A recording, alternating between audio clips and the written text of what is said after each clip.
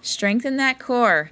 Holding a weight on just one side of your body increases the demand placed on your core to keep your body stable.